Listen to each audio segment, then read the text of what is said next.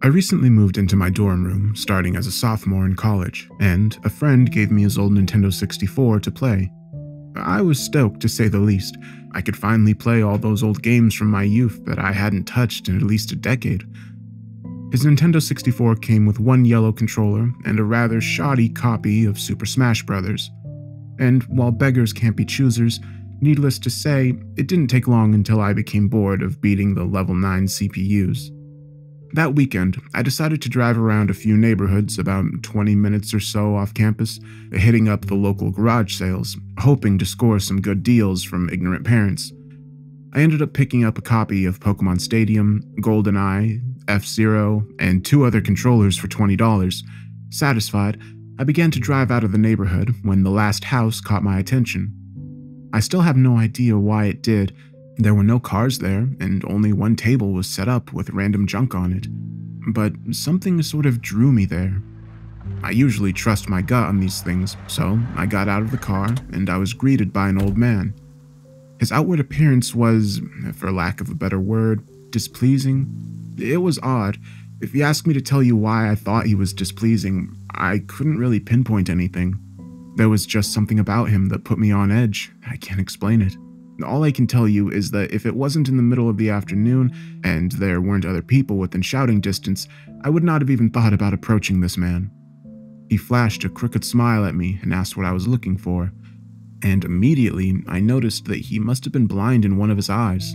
His right eye had that glazed over look about it. I forced myself to look into his left eye instead, trying not to offend, and asked him if he had any old video games. I was already wondering how I could politely excuse myself from the situation when he told me he had no idea what a video game was, but to my surprise, he said he had a few ones in an old box. He assured me he'd be back in a jiffy and turned to head back into the garage. As I watched him hobble away, I couldn't help but notice what he was selling on the table. Littered across his table were rather peculiar paintings, various artworks that looked like ink blots that a psychiatrist might show you. Curious. I looked through them. It was obvious why no one was visiting this guy's garage sale. These weren't exactly aesthetically pleasing. As I came to the last one, for some reason, it looked almost like Majora's Mask. The same heart shaped body with little spikes protruding outward. Initially, I just thought that since I was secretly hoping to find that game at these garage sales, some Freudian bullshit was projecting itself into the ink blots. But given the events that happened afterward, I'm not so sure now. I should have asked the man about it. I wish I had asked the man about it. After staring at the Majora shaped blot, I looked up and the old man was suddenly there again, arm's length in front of me, smiling. I'll admit, I jumped out of reflex and I laughed nervously as he handed me a Nintendo 64 cartridge. It was the standard gray color, except that someone had written Majora on it in black permanent marker. I caught butterflies in my stomach as I realized what a coincidence this was and asked him how much he wanted for it. The old man smiled at me and told me that I could have it for free, that it used to belong to a kid who was about my age that didn't live there anymore. There was something weird about how the man phrased that, but I didn't really pay any attention to it then. I was too caught up in not only finding this game, but getting it for free. I reminded myself to be a little skeptical, since this looked like a pretty shady cartridge, and there's no guarantee it would work. But then the optimist inside of me interjected that maybe it was some kind of beta version or pirated version of the game, and that was all I needed to be back on Cloud 9. I thanked the man, and the man smiled at me and wished me well, saying, Goodbye then. At least, that's what it sounded like to me, all the way in the car ride home, I had a nagging doubt that the man had said something else. My fears were confirmed when I booted up the game. To my surprise, it worked just fine. And there was one save file named simply Ben. Goodbye, Ben, he was saying. Goodbye, Ben. I felt bad for the man, obviously a grandparent and obviously going senile, and I, for some reason or another, reminded him of his grandson Ben. Out of curiosity, I looked at the save file, eyeballing it. I could tell that he was pretty far in the game. He had almost all of the masks and three fourths remains of the bosses. I noticed that he had used an owl statue to save his game. He was on day three and by the Stone Tower Temple, with hardly an hour left before the moon would crash. I remember thinking that it was a shame that he had come so close to beating the game, but he never finished it. I made a new file named Link out of tradition and started the game, ready to relive my childhood. For such a shady looking game cartridge, I was impressed at how smoothly it ran. Literally just like a retail copy of the game, save for a few minor hiccups here and there, like textures being where they shouldn't be, random flashes of cutscenes at odd intervals, but nothing bad. However, the only thing that was a little unnerving was at times the NPCs would call me Link, and at other times they would call me Ben. I figured it was just a bug, a fluke in the programming causing our files to get mixed up or something. It did kind of creep me out though after a while, and it was around after I had beaten the Woodfall Temple that I regrettably went into the save files and deleted Ben. I had intended to preserve the file out of respect for the game's original owner it's not like I needed two files anyway. Hoping that would solve the problem. It did, and it didn't. Now, NPCs wouldn't call me anything. Where my name should have been in the dialogue, there was just a blank space. My save file name was still called Link, though. Frustrated, and with homework to do, I put the game down for the day. I started playing the game again last night, getting the lens of truth and working my way towards the Snowhead Temple. Now, some of you more hardcore Majora's Mask players know about the fourth day glitch. For those of you who don't, you can Google it, but the gist of it is that right as the clock is about to hit zero on the final day, you talk to the astronomer and look through the telescope. If you time it right, the countdown disappears and you essentially have another day to finish whatever you were doing. Deciding to do the glitch to try to finish the Snowhead Temple, I happened to get it right on the first try, and the time counter at the bottom disappeared. However, when I pressed B to exit the telescope, instead of being greeted by the astronomer, I found myself in Majora's boss fight room at the end of the game, the trippy boxed-in arena, staring at Skull Kid hovering above me. There was no sound, just him floating in the air above me, and the background music, which was regular for the arena, but still creepy. Immediately, my palms began to sweat. This was definitely not normal. Skull Kid never appeared here. I tried moving around the arena, and no matter where I went, Skull Kid would always be facing me, looking at me, not saying anything. Nothing would happen though, and this kept up for around 60 seconds. I thought the game had bugged or something, but I was beginning to doubt that very much. I was about to reach for the reset button when text appeared on my screen. You're not sure why, but you apparently had a reservation. I instantly recognized the text. You get that message when you get the room key from Anju at the Stockpot Inn, but why was it playing here? I refused to entertain the notion that it was almost as if the game was trying to communicate with me. I started to navigate the room again, testing to see if that was some sort of trigger that enabled me to interact with something here. Then I realized how stupid I was. To even think that someone could reprogram the game like that was absurd. Sure enough, 15 seconds later, another message appeared on the screen, and again, like the first one, it was already a pre-existing phrase. Go to the lair of the temple's boss? Yes slash no. I paused for a second, contemplating what I should press and how the game would react, when I realized that I couldn't select no.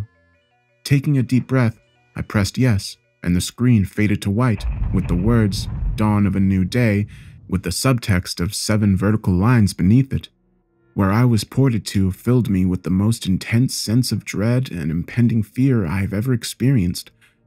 The only way I can describe the way I felt here is having this feeling of inexplicable depression on a profound scale. I'm normally not a depressed person, but the way I felt here was a feeling that I didn't even knew existed. It was such a twisted, powerful presence that seemed to wash over me. I appeared in some kind of weird Twilight Zone version of Clocktown. I walked out of the clock tower, as you normally do when you start from day one, only to find that all the inhabitants were gone. Usually with the fourth day glitch, you can still find the guards and the dogs that run around outside the tower. This time, they were all gone. What replaced them was the ominous feeling that there was something out there in the same area as me, and that it was watching me. I had four hearts by my name and the hero's bow, but by this point, I wasn't even concerned for my avatar. I felt that I personally was in some kind of danger. Perhaps the most chilling thing was the music. It was the Song of Healing, ripped right from the game itself, but played in reverse. The song would get louder, building up as if you should expect something to pop out at you, but nothing ever did. And the constant loop began to wear on my mental state. Every now and then, I would hear the faint laugh of the happy mask salesman in the background, just quiet enough so that I wasn't sure if I was just hearing things, but just loud enough to keep me determined to find him. I looked in all four zones of Clocktown, only finding nothing. No one. Textures were missing. West Clocktown had me walking on air. The entire area felt broken, hopelessly broken as the reverse song of healing repeated for what must have been the 50th time. I just remember standing in the middle of South Clocktown, realizing that I'd never felt so alone in a video game before. As I walked through the ghost town, I don't know whether it was the combination of the out of place textures and the atmosphere and the haunting melody of the once peaceful and soothing song being butchered and distorted, but I was literally on the verge of tears. I had no idea why. I hardly ever cry. Something had gripped me here, and this powerful sense of depression was both foreign and crippling. I tried leaving Clocktown, but every time I attempted to zone out, the screen would fade to black and I would just zone into another part of Clocktown. I tried playing my ocarina. I wanted to escape, and I did not want to be here, but every time I played the Song of Time or the Song of Soaring, it would only say, Your notes echo far, but nothing happens. By this point, it was obvious that the game didn't want me to leave, but I had no idea why it was keeping me here. I didn't want to go back inside the buildings. I felt that I would be too vulnerable there to whatever I was terrified of. I don't know why, but I came up with the idea that maybe if I drowned myself at the laundry pool, I could spawn somewhere else and leave this place. As I zoned in and ran towards the pool, that's when it happened. Link grabbed his head, and the screen flashed for a brief moment of the happy masked salesman smiling at me. Not Link, me, with Skull Kid's scream playing in the background, and when the screen returned, I was staring at the Link statue from playing the song Elegy of Emptiness. I screamed as the thing just stared back at me with that haunting facial expression I turned around and ran back into South Clocktown, and to my horror, the statue followed me. And the only thing I can compare this to is like the weeping angels from Doctor Who. Every so often, at random intervals, the animation would play of the statue appearing behind me. It was like the thing was chasing me, or I don't even want to say it, haunting me. By this point, I was on the verge of hysterics, but not even once did the thought of turning off the console occur to me. I don't know why, I was so wrapped up in it. The terror felt all so real. I tried to shake the statue, but it would literally appear right behind me every single time. Link started to begin to make weird animations I had never seen him do before. He would flail his arms around or spasm randomly, and the screen would cut to the happy masked salesman smiling again for a brief moment before I was face to face with that damn statue again. I ended up running into the swordsman's dojo and ran to the back. I don't know why, but in my panic, I just wanted some kind of assurance that I'm not alone here. To my dismay, I found no one. But as I turned to leave, the statue cornered me in the cubby in the back. I tried attacking the statue with my sword, but to no avail. Confused and backed into a corner, I just stared at the statue, waiting for it to kill me. Suddenly, the screen flashed again to the happy masked salesman, and Link turned to face my screen, standing upright, mirroring the statue, looking at me along with his copy, literally staring at me. Whatever was left of the fourth wall was completely shattered while I ran out of the dojo, terrified. Suddenly, the game warped me to the underground tunnel, and the reverse Song of Healing queued up again as I was given a brief moment of rest before the statue started appearing behind me again, this time aggressively. I could only take a few steps before it would summon behind me again. I hurriedly made my way out of the tunnel and appeared in southern Clocktown. As I ran aimlessly in a sheer panic, suddenly a Redead screamed and the screen faded to black as Dawn of a New Day and nine vertical lines appeared again. The screen faded in and I was standing on the top of Clock Tower with Skull Kid hovering over me again, silent. I looked up and the moon was back, looming just meters above my head, but the Skull Kid just stared at me hauntingly with that damn mask. A new song was playing. The Stone Tower temple theme played in reverse. In some sort of desperate attempt, I equipped my bow and fired a shot at the Skull Kid. and it actually hit him, and he played an animation of him reeling back. I fired again, and on the third arrow, a text appeared saying, That won't do you any good, hee hee. And I was picked up off the ground, levitated upwards on my back, and then Link screamed as he burst into flames, instantly killing me. I jumped when this happened. I'd never seen this move used by anyone in the game, and Skull Kid himself didn't have any moves. The death screen played, my lifeless body still burning. The Skull Kid laughed, and the screen faded to black, only to have me reappear in the same place. I decided to charge him, but the same thing happened. Link's body was lifted off the ground by some unknown force, and he immediately burst into flames again, killing him. This time, during the death screen, the faint sounds of the reverse song of healing could be heard. On my third and final try, I noticed that there was no music playing this time, that all there was was eerie silence. I remembered thinking that in the original encounter with the Skull Kid, you were supposed to use the ocarina to either travel back in time or summon the giants. I attempted to play the Song of Time, but before I could hit the last note, Link's body once again horrifically exploded into flames and he died. As the death screen neared its end, it began to chug as if the cartridge was trying to process a lot of something.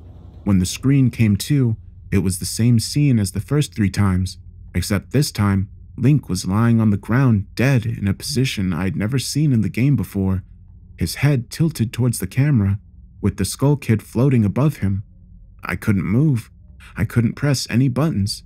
All I could do was just stare at Link's dead body. After around 30 seconds of this, the game simply fades out to the message, You've met with a terrible fate, haven't you? before kicking you out to the title screen. Upon getting kicked back to the title screen and starting again, I noticed my save file was no longer there. Instead of Link, it was replaced with Your Turn. Your turn had three hearts, zero masks, and no items. I selected Your Turn, and immediately when I did, I was returned to the clock tower rooftop scene of my Link dead and the Skull Kid hovering over, with the Skull Kids laughing looping again and again. I quickly hit the reset button, and when the game booted up, there was one more save file added. Below Your Turn, there was Ben. Ben's save file is right back where it was before I deleted it, at the Stone Tower Temple with the moon almost crashing. I turned the game off at that point. I'm not superstitious, but this was way too messed up for even me. I haven't played it at all today. Hell, I didn't even get any sleep last night. I kept hearing the reverse song of healing music in my head and just remembering the sense of dread I felt exploring Clocktown. I drove back to the old man's house today to ask him some questions with a buddy of mine. No way I was going back there alone, only to find that there was a for sale sign in the yard, and when I rang the door, no one was home. So now I'm back here, recording my thoughts and what happened. I'm sorry if this is rushed and doesn't make a lot of sense. I'm running on no sleep here. I'm terrified of this game, even more so now that I've relived it a second time in talking about it. But I feel there's still more to it than meets the eye, and that there's something calling me to investigate this further. I think Ben is something in this equation, but I don't know what. And if I could get a hold of the old man, then I would be able to find some answers. I need another day or so to recuperate before tackling this game again. It's already taken a toll on my sanity, I feel like. But next time I do this, I'm going to record my footage all the way through the idea to record only came to me towards the end. I'm going to stay in this thread for a little while longer before I fall asleep to answer any questions you might have, or hopefully listen to your ideas or theories to help me shed some light on this, or maybe things I should try to do. I think I'm going to play Ben's file tomorrow to see what happens. Maybe I was supposed to do that all along. I don't believe in paranormal stuff, but this is a little messed up. But maybe this Ben guy was just a really good hacker or programmer. I don't want to think about the alternatives if he isn't.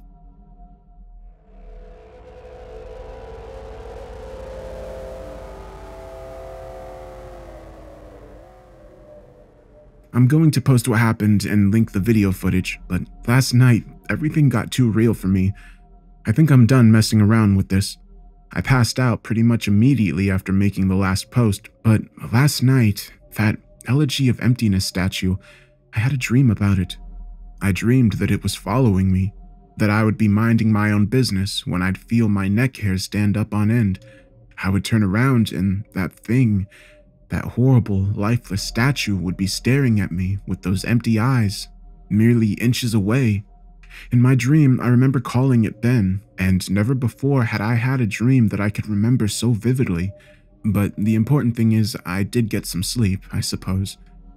Today, I put off playing as long as I could. I drove up to the neighborhood to see if that old man came back. As expected, the car was still gone and no one was home. As I was walking back to my car, the man next door, mowing the grass, killed the power to his lawnmower and asked me if I was looking for someone. I told him that I was looking to talk to the old man that lived there, to which he told me what I already knew. He was moving. Trying a different avenue, I asked if the old man had any family or relatives I could talk to. I discovered that the old man had never been married, nor did he have any children or grandchildren through adoption. Starting to become worried, I asked one final question, one that I should have asked from the beginning. Who was Ben? The man's expression turned grim, and I learned that four doors down, around eight years ago, on April 23rd, the man informed me that it was the same day as his anniversary. That's how he knew the specific date, there was an accident with a young boy named Ben in the neighborhood. Shortly after, his parents moved, and despite any further attempts to talk to the man to get more information, he wouldn't divulge anything else. I went back home, started playing again. I loaded up the game, and I immediately jumped at the title screen where the mask flies by. The sound that played was not the normal whoosh sound, it was something much more higher pitch. I pressed start, bracing for the worst, but just like two nights ago, the files Your Turn and Ben were displayed. Truth be told, I looked at the Ben file earlier. It seemed to fluctuate between displaying the owl save and not. I brought up the Ben file, hesitated for a moment, noticing that the stats were not the same as the original were two days ago. It seemed like he had already completed the Stone Tower Temple this time. Summoning my courage, I selected it. Immediately, I was thrust into complete chaos. Sure enough, I was outside the Stone Tower Temple.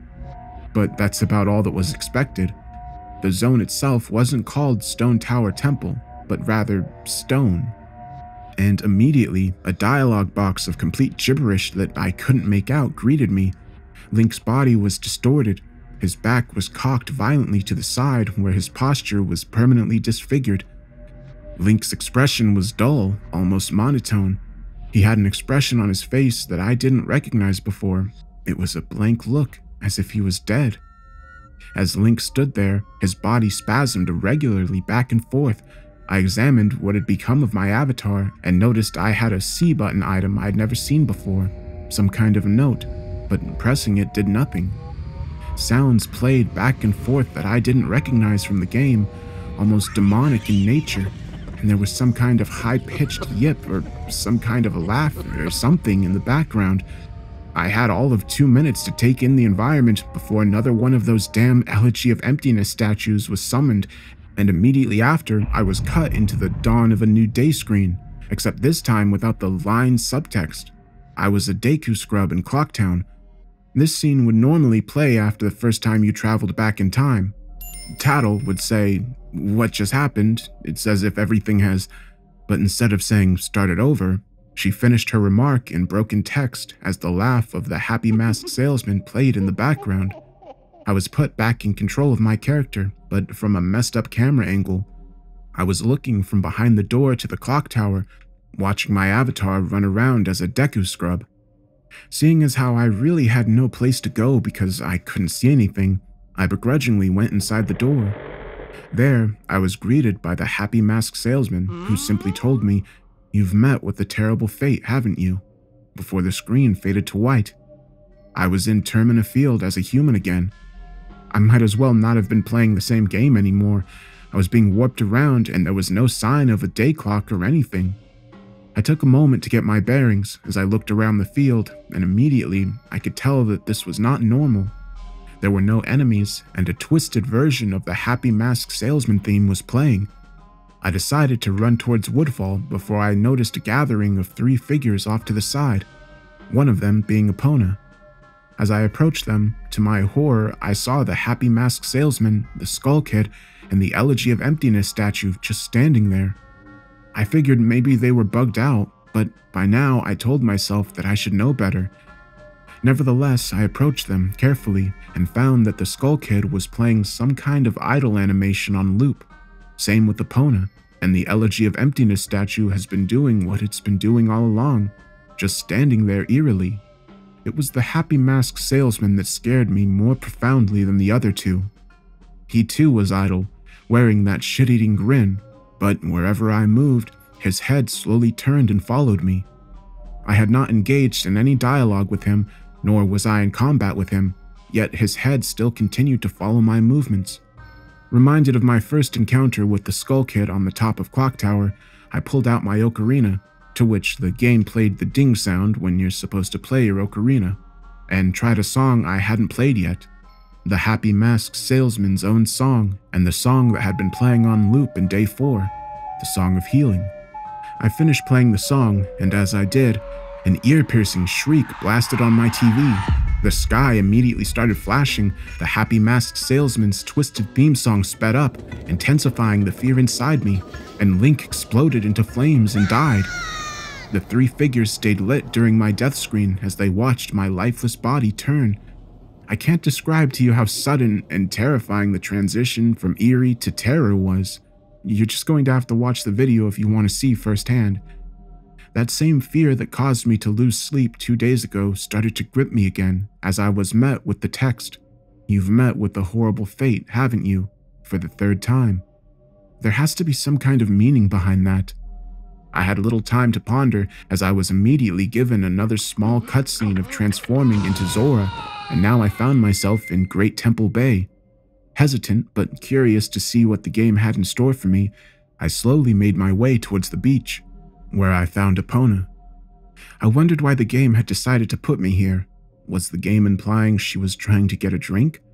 Unable to take the mask off, I decided that riding the steed wasn't the reason she was placed there.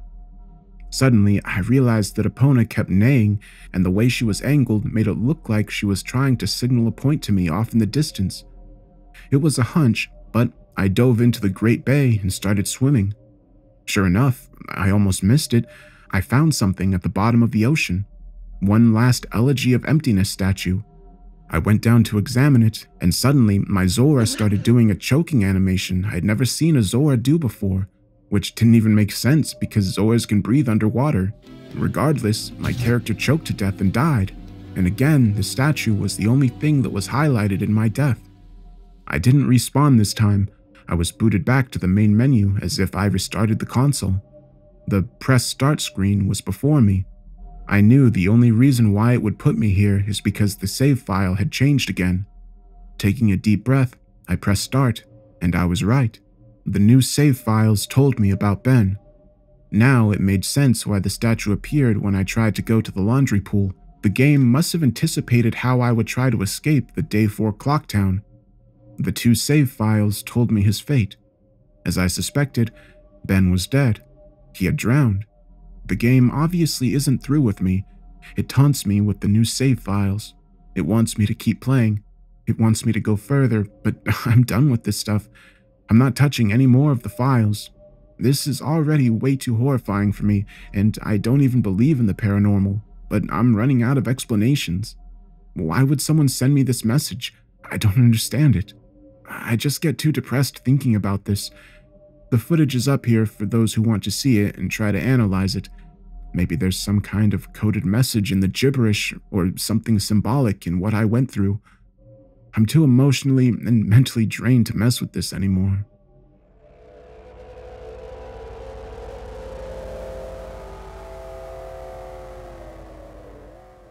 I know it's early in the morning. I've stayed up all night. I can't sleep. I don't care if people see this. That's not the point. I just want the word to get spread so I don't suffer for nothing. I've lost the will to talk about this. The less I dwell on this, the better. I think the video just speaks for itself. I did what you all told me to. I played the Elegy of Emptiness song at the first prompt by the game I was given, but I don't think that's what the game, or Ben, Jesus, I can't believe I'm even humoring the absurd idea that he exists in the game, wanted me to do. He's following me now, not just in the game, he's in my dreams. I see him all the time, behind my back, just watching me. I haven't gone to any of my classes. I've stayed in my dorm room with the windows closed and the blinds shut. That way I know that he can't watch me. But he still gets me when I play. When I play, he can still see me. The game, it, it talked to me for the first time, not just using text that's already in the game. It spoke to me, talked to me. It referenced Ben. It talked to me. I, I just don't know what it means. I, I don't know what it wants. I never wanted this. I just want my old life back. Stuff like this doesn't happen to people like me. I'm just a kid, not even old enough to drink yet. It's not fair. I just want to go home. I want to see my parents again. I'm so far away from home here at this school. I, I just want to hug my mom again. I just want to forget that statue's horrible blank face. My original game file is back, just the way I left it before it was gone. I don't want to play anymore. I, I feel like something bad will happen if I don't. But that's impossible. It's a video game. Haunted or not, it, it can't hurt me, right? Like, like seriously it, it can't, right? That's what I keep telling myself, but every time I think about it, I'm not so sure.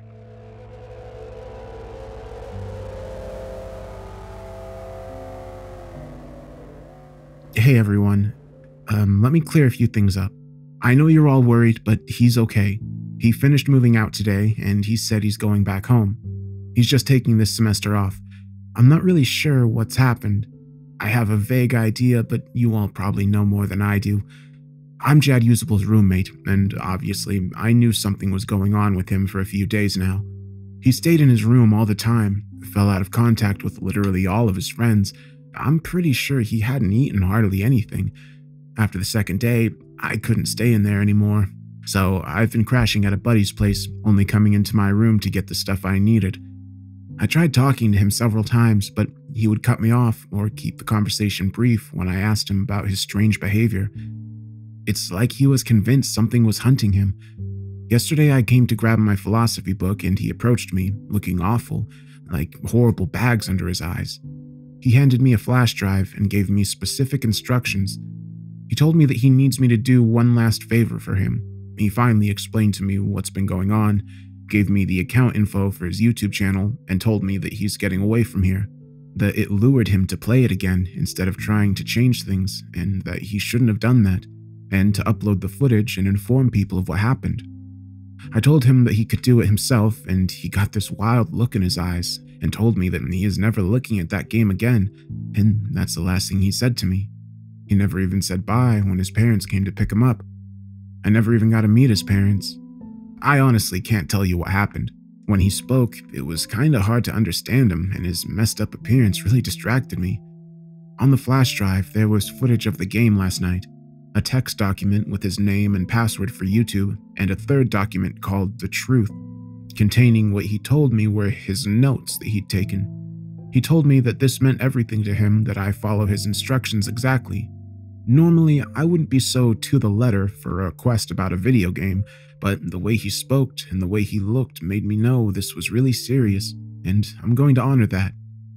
I've had this video since yesterday, but had to have someone help me use Pinnacle. That's not really my forte. After watching it, I had to go back through and look at his other videos on his YouTube account to realize what was going on, and even then, I'm really confused. The video I'm releasing tonight, the truth.txt, will be released on September 15th, just like he requested.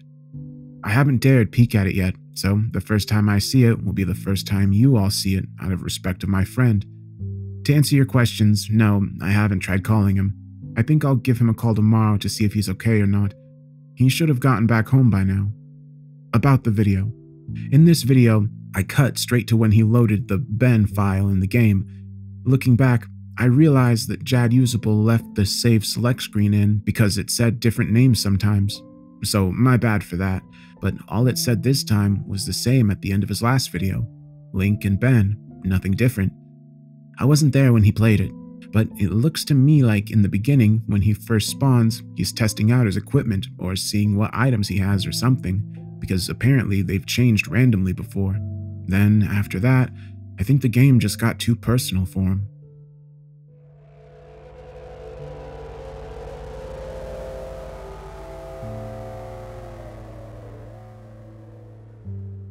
Hey everyone, Jadusable here.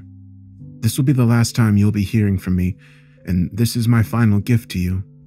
These are the notes that I have taken and the realizations I have made. Before I delve into this, I want to thank you for following me and thank you for listening. I feel like the weight of a powerful burden is about to be lifted. By the time you hear this, I won't be around anymore, but after spending four days with this maddening game, I have begun to understand what's really at play here, and hopefully, after reading this, we can ensure that this will never happen again. There are things that I could not share with you while this was going on due to the circumstances, to which I'll explain. With Ben blocking any attempt I made to try to relay the truth to you, I tried ever so subtly to warn you in various ways. Amidst the chaos and my delirium, I devised to make a barely noticeable pattern in my videos. In all five videos I recorded over the four days, I have either had the Mask of Truth interacted with the Gossip Stone or the Lens of Truth equipped at some point. For you Zelda enthusiasts, these are all symbols of honesty and trustworthiness, and I would hope that one of you may have picked up on the reference. As I played the file, which I would name Ben, being mindful of how Ben was watching over my every move in the game, I made a point to avoid doing anything too obvious, but I sent out a hidden message to you. I never equipped the lens of truth, nor the mask, nor visited a stone. It worked, and the videos are uploaded. I would pray that someone would notice the pattern didn't apply to Ben. The tags followed suit too. I hope you all paid attention to those as well, they were my little messages to you. Nothing big enough that would catch Ben's attention or make him suspect anything. With Ben manipulating and changing my files, I honestly hope that what you all saw was close to what actually happened, but there's no way for me to know. September 6, 2010, 11 p.m. I can't believe what happened. Not sure if this is some kind of elaborate hoax. Despite the fear, I can't help but be exceptionally curious about this. Who or what is the statue? A lot of questions here. I'm starting this document as a diary so I can keep track of everything. I'm recording a summary of what happened so I can come back to it later. September 7th, 2010, 2:10 a.m. The summary was posted here.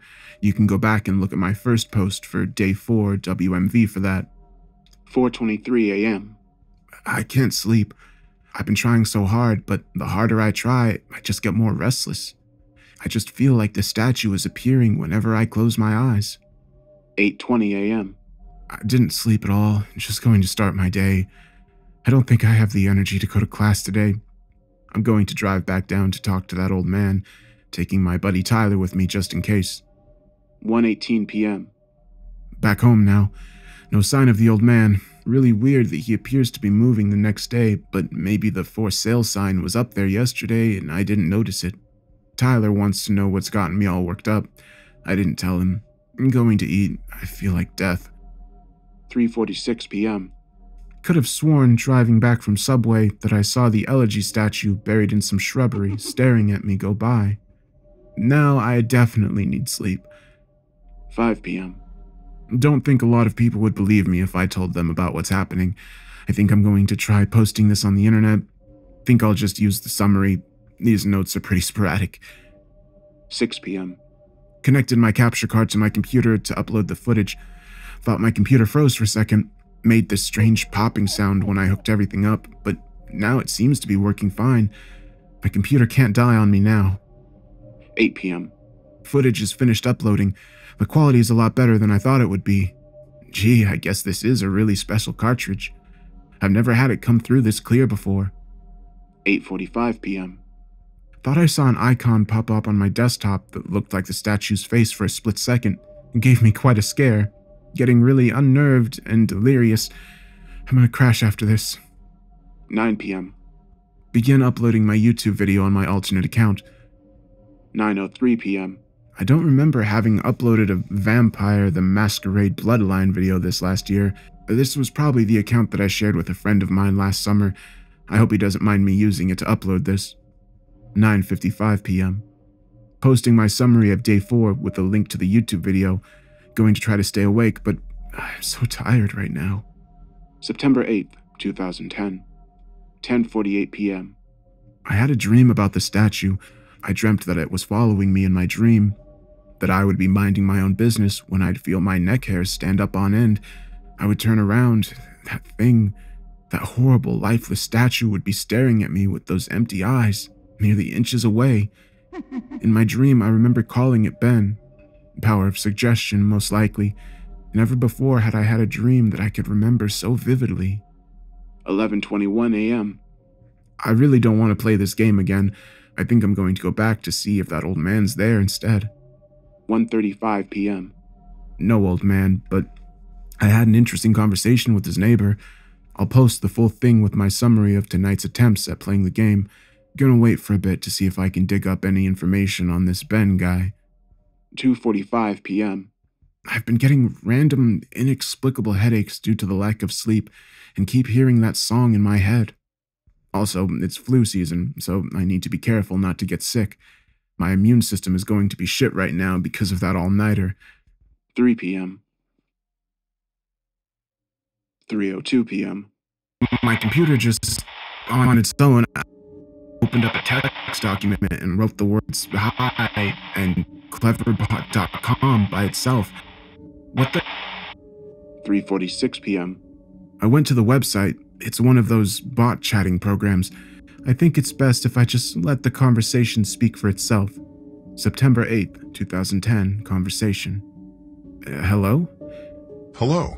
Who is this, and how are you able to control my computer? Who am I? Oh, right, forgot. You're a bot. Do you really think that? Listen, I know whoever's fucking with my computer can see my screen right now. Yes. Yeah, and I'll wager that you're one of those IT kids who think he's tough shit. You know what you're doing right now is illegal, right? Is it? No shit. Are you familiar with the terms invasion of privacy? Get the fuck off my computer, kid. I am your computer. Cool story. Anyway, I'm calling DPS. You picked a bad time to fuck with me, kid. Should I wait until you play the game then? What? That game. Majora's Mask? Yes. How did you know about that? Because. Because what? I did it. Did what? I played with you. What the hell? Were you scared? Who the hell is this? Ben. The statue? You're inside my computer now? Yes. How? You connected me. How the hell did I connect you? Cables and cords. How? Tell me about yourself. What? Tell me about yourself. What do you mean? What is it that really scares you? What the hell? Answer. No. Answer. What the hell? How did you just open that by yourself? I am your computer now. How much can you control? All. What do you want from me? To entertain. You're stuck inside there. You can't hurt me. Go play. No, you can't hurt me. Took you longer to type that. So? You're not sure. If you're so powerful, why use a ridiculous website like this to chat with me? Less messy. More structured. Fun. Fun? Yes. Tradition. I like it. You think it's funny? Amusing. And my notes? You may write them down. Why are you letting me? It is amusing to see what you think of me. 3:50 p.m. What have I done? I- I've invited it into my computer. I continue to record these notes, write my summaries. I feel like I'm a prisoner in my own place of security. I don't know. I don't know if I'm hallucinating or not. I feel like I'm fucking insane right now. I can feel it watching over me, even as I record this. Ben is controlling everything in the game, toying with me, leading me like a sheep, but for what? What's the purpose? I know Ben drowned, but why these hauntings? It can probably even hear this right now. 4:35 p.m. 7:18 p.m. Ben called me to Cleverbot again. He tells me that he's sorry and wants to be free, and that I can free him. That's just like how he got on my computer from the capture card. He can spread, but he needs my help. He says that I'm special because I can help him. That is the first nice thing he said. He promises to leave me alone if I do it. He swears he will. I don't know what to think right now. How can I even trust this thing? 7:20 p.m. I'm terrified of it, but now it's saying that it was just having fun. It's twisted and messed up version of fun. He's saying that the game is over. I do want it to be over. He says that he just wants to be free, that he's trapped in the cartridge and now my computer, and he wants to be freed. I don't want to have to deal with this shit. I don't know how long I can deal with the watching. It's watching my every move, every keystroke. I have nothing private anymore. It knows everything that's been on my computer. It tells that if it wanted, it could do horrible things to me, but it hasn't, so I should trust it. 8:01 p.m. Something tells me that I'm being played again, just like in the game. 9:29 p.m. Ben called me to Cleverbot again. I ignored it and I went to go take a shower. When I came back to my laptop, I was welcomed with an image. It was an elegy statue staring at me with those dead eyes. I don't want to talk to him. 9:44 p.m. Fuck you, Ben. I'm not talking to you. 9:56 p.m. Fuck you, Ben. I'm not talking. 10:06 p.m. Fuck you, Ben. I'm not talking to you. 10:12 p.m. Fuck you, Ben. I'm not talking to you. 10:45 p.m. It's been more than a half hour and the messages have stopped. Ben has stopped. I'm beginning to think that Ben isn't confined to just my computer and a cartridge. I'm beginning to feel something. It's hard to explain. I've never been spiritual, but there's something different about the air in my dorm room now. 11:42 p.m. I'm beginning to see the elegy statue randomly as I search the internet in places I shouldn't, places where he shouldn't be. I'd be scrolling down and suddenly I'd be staring at a picture of the elegy statue, always the elegy statue. I don't know how much more of this I can take. September 9th, 2010, 12:35 a.m. My worst fears confirmed. Ben has tampered with my summary of ben.wmv.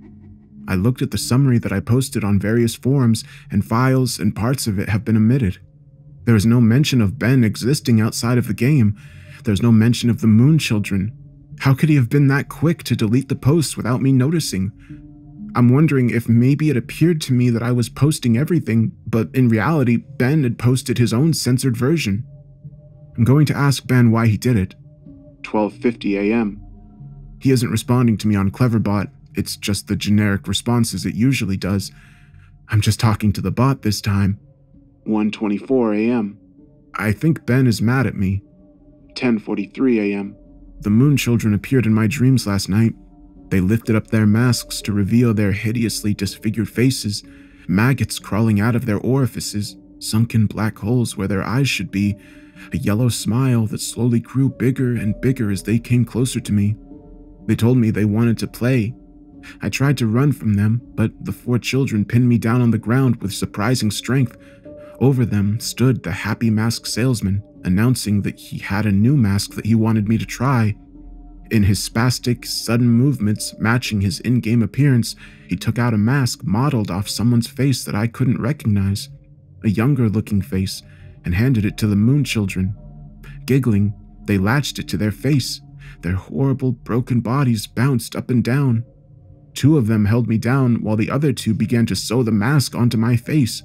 My shrieks and screams caused the happy mask salesman's face to turn into the most horrific smile I'd ever seen. He sporadically moved around, examining the procedure like a curious doctor. I flailed around, but it was no use. My eyes rolled into the back of my head because of the pain. It felt so real, but I couldn't wake up.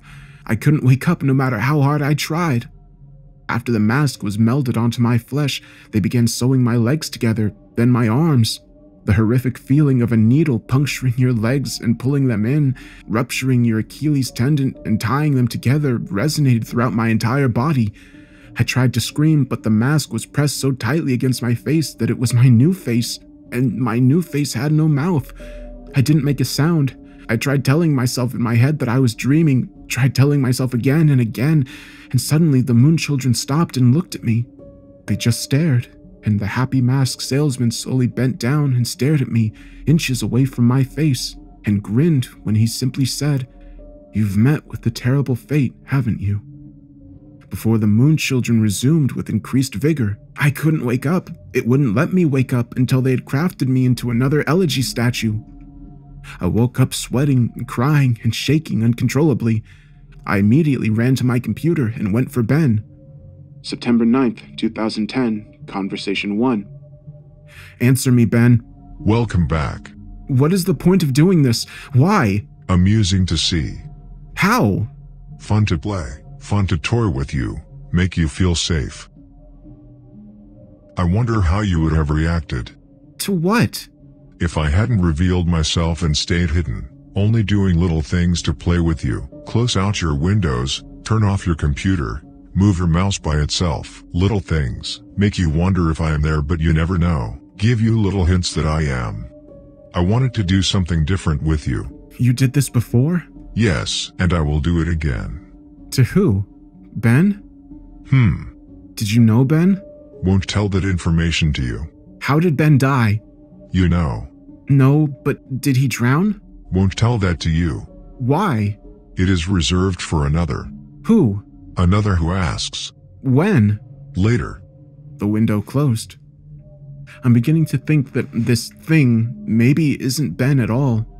In its sadistic nature, I wouldn't be surprised if it took the boy's name after it killed him.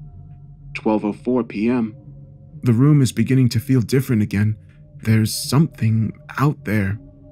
I feel really threatened, like there's something that is trying to reach out to me and strangle me, but it can't quite get there. 12:46 p.m. I think Ben doesn't want to play with me anymore. I'll play again. I'll play the game again, Ben. Can you hear this?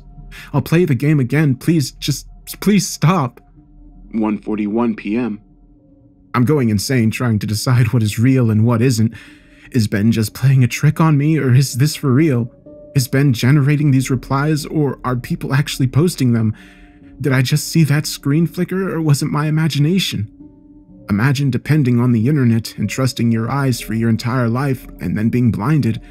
You can't rely on it anymore. You second guess everything. For the brief moments I'm looking at my responses to the videos, people were pointing out things that looked fake or photoshopped or whatever, and there's literally no way for me to know if Ben changed something on purpose to try to shut me up, or if maybe those replies were just constructed by Ben to try and discourage me from even reaching out. See, I get fucking caught in an infinite mind loop like this, and this is what has been wearing on my sanity and pushing me to the edge. As I'm recording this, there's no way of even telling if anyone even cares as much as I think they do. Just another fucking trick. Does this whole document and recording even exist? Am I saying nothing? September 9th, 2010. Conversation 2. What is it? What's the point of playing? I die whenever I do anything. You die because you can't figure out the secret. What? Thematic. What the fuck are you talking about? Their beauty in your suffering. The window closed. 4:09 p.m. Ben is making me play the game again. It tells me that it has something very important to show me. 6:23 p.m. 9:09 p.m. September 10th, 2010. 11:52 a.m. The drowned WMV playthrough was up when I woke up today. I remember recording it, but I don't ever remember posting it. He censored it again. There is no mentioning of the old man. I have no voice anymore. I'm only posting what he wants me to. I am the mask he uses to disguise himself as he lies. 11:55 a.m. There's an entire video summary of a video that I don't remember doing. Reading through the summary, this sounds morbid, resembling my dream from two nights ago, except on a far more sadistic scale. These moon children, there's something more to them, almost as if they're another entity from Ben. Something happened last night that I can't remember. I'm posting the fourth summary to the forums now. The shadow of my chair moved. 12 p.m. Ben won't let me visit YouTube. I can browse the rest of the sites, but he keeps on exiting the window when I go to YouTube. Why? 2:02 p.m. I'm feeling the air start to constrict. I don't think I'm alone here. Whatever aura has been here is getting more violent. 2:44 p.m. I'm trying to contact Ben on Cleverbot. He's not responding. I just get the AI. 3:51 p.m. My ears aren't fooling me. I'm hearing the reverse song of healing. I, I keep hearing it. 4:23 p.m. Now I'm positive. Earlier, I thought it was a weird coincidence, but now I just went to open my window, and three floors down at the ground level, I saw the old man. I'm completely positive I did. The same guy, he was just staring up at my window, standing in the middle of campus. If any students took notice of him, they didn't seem to acknowledge it. That's where my notes end. I fled my room, taking the cartridge with me. I don't want to go into details of what happened. I'll lose my train of thought as I hammer out these last details. It's been roughly two days since then. This is my last summary and service to you of the final videos you all saw, Matt.wmv. The last video entry I made, Matt.wmv, began as normal. I was spawned in Clocktown as usual, and nothing seemed to be out of place. Determined to set things right and play the Oath to Order on top of Clock Tower on the fourth day, I prepared myself. I sped up time and got to the final day, making my way to the observatory. As I got to the telescope room and approached the astronomer, he would not let me look into the telescope. He told me that it would be cheating and that I should follow the rules. Despite my repeated efforts, the game would not let me do the fourth day glitch, no matter how hard or what I tried. I tried working around the game and doing the glitch, but it was adamant this time. Regardless of if I simply had the illusion of free will in prior games, this time the game became more aggressive than anything I've ever seen. It eventually told me to go to Ikana Canyon, where the game would end and it would stop haunting me. Anxious and desperate to end this nightmare, I played the Song of Soaring and ended up there. I was told to check my inventory, that I would find the answers there to end the game. I arrived at Ikana Canyon and saved my progress at the owl statue. As I searched through my inventory, I finally noticed that I was missing a reoccurring song, the Elegy of Emptiness. Obviously, once I traveled there and learned the song, I suppose that was the last thing it needed before Ben decided it had had enough fun playing with me. Ben is a manipulator. He tries to fool his victims into security and makes you drop your guard like a Venus flytrap. Then he ensnares you. I am nothing but a puppet to him. He enjoys seeing what kind of human emotions he can tap into by doing different things. There are still some things about this whole experience that still don't make sense, then again, I was never good at figuring out these things, and I'm not exactly in the right state of mind to. I'm giving you all the pieces of the puzzle for you to analyze and piece together the missing links. I'm recording these closing thoughts on the library computer on campus. I've emailed myself the notes I have stored on my infected computer from the last four days. I'm then going to combine those notes with the closing and openings that I've typed here on the safe, public computer into one text document I'm not taking any chances spreading Ben. I would not wish this horrible torment on anyone, and I've made sure to have my bases covered here. I didn't run into any problems with Ben, and when I was back on my computer trying to email myself the notes, went right under his damn nose. He has no idea what he just let me do. Had no problems opening the text documents from my infected computer in my email either. I can't describe to you how it feels to finally be able to get the word out in this post. The nightmare ends here. That said, do not download any of my videos or anything about my videos through a YouTube video ripper, a screen grab, or whatever. I don't know how he can spread, but I know that just watching them on YouTube, reading my text, won't be able to allow him to spread. Otherwise, he wouldn't have needed my help in the first place, but I strongly recommend you do not take anything you see online onto your own personal computer. This will be my last posting. I'm putting up on this forum here for the world. If you see any further posts from me after today's current date, September 12th, and after the current time, 12:08 a.m., discredit them. It already has proven to me that Ben can access my account and password and manipulate my computer. Like I said, I have no idea to what extent it can do this, but I know that it will do anything to break free. He is desperate. To ensure your safety, just forget about me, please. And obviously, this goes without saying, but from here on out, do not download any images I may have put up, any files, any anything. The fifth day will be my last day. I'm going to burn the cartridge and then come back and destroy my laptop.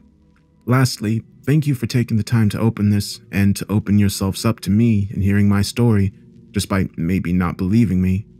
You didn't have to do that, really. You shouldn't have. Your support this entire time has kept me going, and now I really am free of this. Thanks again, Jadusable.